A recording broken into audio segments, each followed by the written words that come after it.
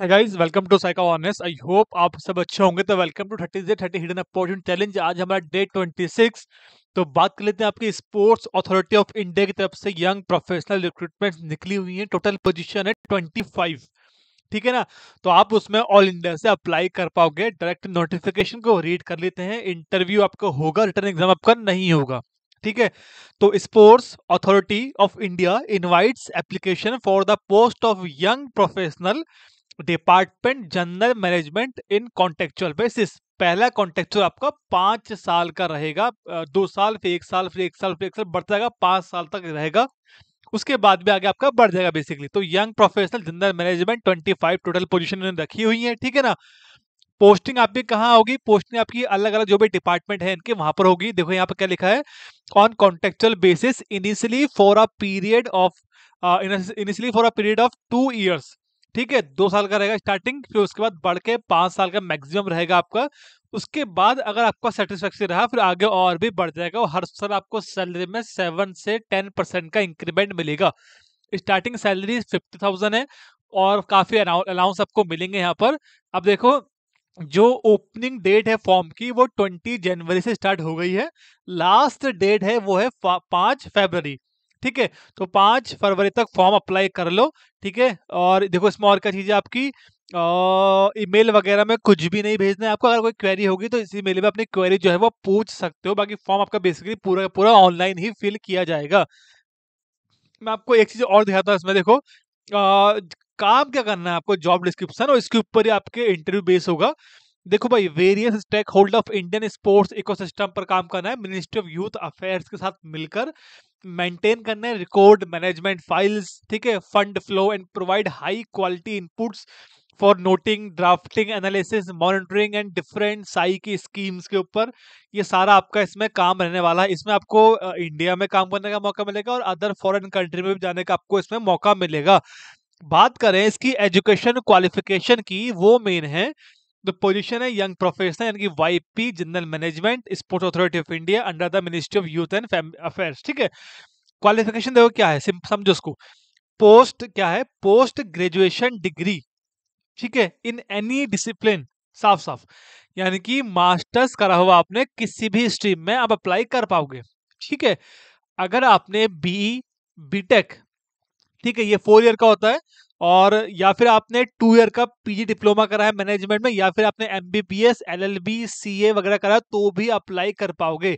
Ten plus to देखो, या अगर आपने मास्टर्स नहीं करा है तो आपको क्या चाहिए? आपको M B B S L L B B B tech यानी four year course after ten plus two और अगर आपने ये एम बी बी एस वगैरह नहीं करा एल एल बी नहीं करा तो आपको मास्टर्स चाहिए कंप्लीट फाइनल आपको मास्टर्स होना चाहिए, कोई परसेंटेज नहीं मांगी है सिंपल समझ में आ गया master degree in any discipline apply कर पाएँगे।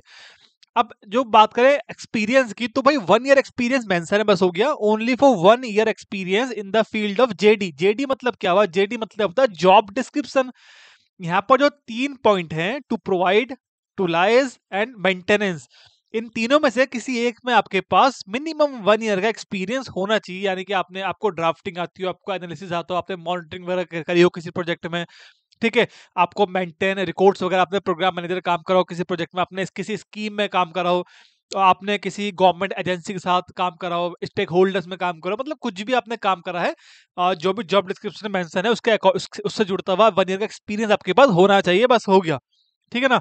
और देखो साफ़ साफ़ लिखा है कि PhD research M phil in या फिर कोई फेलोशिप अगर आपके पास ये है तो इसको एक्सपीरियंस में काउंट नहीं किया जाएगा।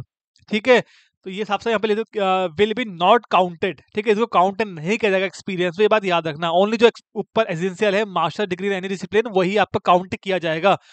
अब और क्या चीज़ इसमें देख लेते हैं भाई हम? देखो अप्लाई तो दिखा दूँगा आपको कैसे अप्लाई करना है। अभी सैलरी वगैरह देख लो क्या है इसकी बेसिकली देखो भाई maximum age limit thirty two रहेगी फॉर जनरल बाकी ओबीसी को तीन साल रिजर्वेशन एस सी को फाइव ईयर रिजर्वेशन जो मिलता है वो मिलेगा, ठीक है ना?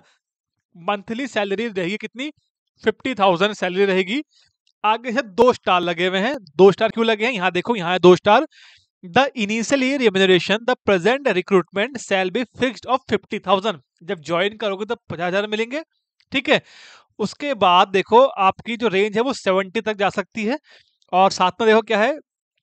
Annual increment up to maximum seven percent और रिकमेंडेशन पे, आपके जो रिपोर्टिंग ऑफिसर है, आपके रिव्यू कमेटी आपके काम को देखकर हर साल आपको सैलरी में सेवन परसेंट का इंक्रीमेंट आपको दिया जाएगा।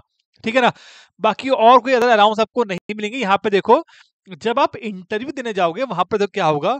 मोड ऑफ़ जर्नी तो दो जर्नी है। एक तो है बाई एयर ठीक है इकोनॉमिक क्लास का, एक है by rail for AC two tier का टिकट मिलेगा। साथ में होटल एकोमोडेशन मिलेगा आपको, दो हज़ार दो सौ पचास रुपए का पर डे का, ठीक है?